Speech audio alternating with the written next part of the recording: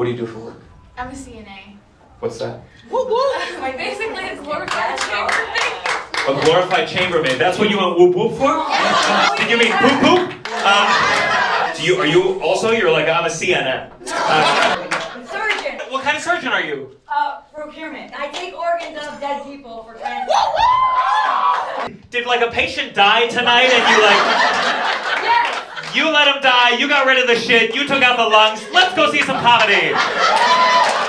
I cannot do shit without my RN or my. Because if they do too good a job, the person's alive and then you can't get any of the organs. You guys are the real heroes here. I'm an abdominals bitch mainly. I like liver kidneys. I'm sorry, did you say I'm an abdominals bitch? Liver kidneys. I'm all about it. Don't call me for heart or lungs. You're like, I'm not a heart whore. I am an abdominals bitch.